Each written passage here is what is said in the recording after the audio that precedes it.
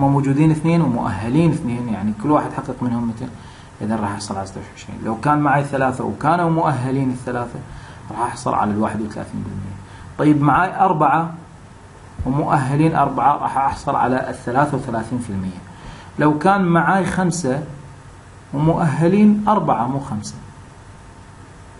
أحتاج إيش؟ إلى ألفين نقطة مبيعات من مجموعتي الشخصية مو شرط أنا أبيعها تحت اسمي يكون عندي مجموعة ثانية. ذاك مهم على الأعضاء بعض الأعضاء لما يوصلون مرحلة يظل ما يسجل أعضاء جدد وهذا غلط لأنه الضمانة الأساسية لاستمرار الدخل واستقراره أنك تعدد الأجيال. تعدد عفوا أنك تعدد الأجيال اللي عندك وتبدأ تفتح خطوط بالعمق. طيب؟ فلازم تركز على هذا الموضوع. إذا العمق هو يحقق الاستقرار لأن عندنا من خصائص DXN أيضا الضغط الديناميكي.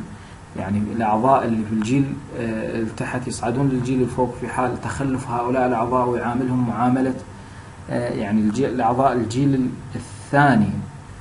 طيب إذا الجيل الأول تخلف لسبب ما أو تعطل عن العمل أو ترك العمل أعضاء الجيل الثاني يعاملهم ال system من حيث العمولات كأنهم بالجيل الأول عندي وهذا هذه يعني أيضا من عدالة الشركة بان ليش؟ لأن هذا منو تابعه؟ منو ظل معاه؟ منو بقى معاه؟ أكيد السبونسر هو يبقى السبب اذا حقيقة السبب الرئيسي في هذا لذلك الشركة تعوضه ويصعد له في الجيل الأول، في حالة أنه أيضا هؤلاء الخمس النجوم ولا واحد منهم حقق مو أربعة فأحتاج 3000 نقطة.